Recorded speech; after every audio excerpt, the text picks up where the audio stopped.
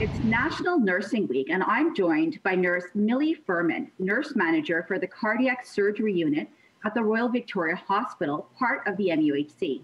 First of all, thank you for all that you do and all that you've been doing to keep us all safe during this pandemic. Thank you. You're very welcome. So, what has it been like for you working at a hospital during COVID 19? Um, I'd say it's definitely been interesting, but it's also been very rewarding. It's been different times for us, but definitely very rewarding to know that we are helping during such difficult times. Can you tell me about the resilience of the nursing team?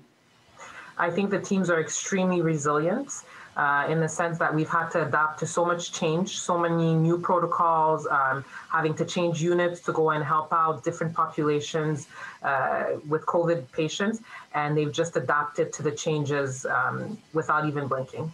So, why did you want to be a nurse? Was there anyone that inspired you?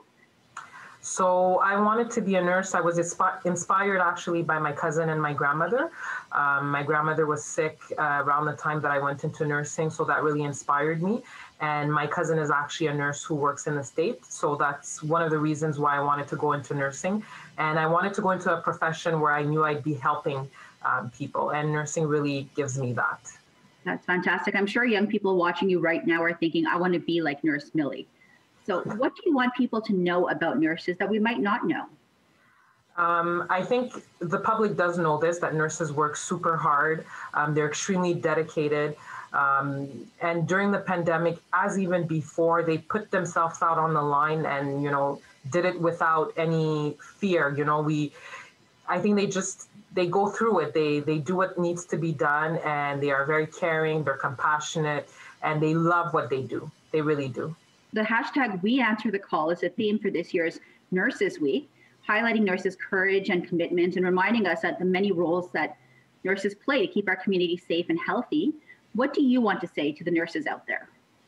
I want to say to the nurses and the whole nursing team, because it's not just nurses, but it's really everybody PABs, unit coordinators, housekeepers, transport attendants, physicians, everybody, um, not to give up that um, what they've done throughout the past year and even before is um, really recognized by everybody and just to keep up the good work and that um, I'm happy to really be a part of this profession and be surrounded by such amazing people.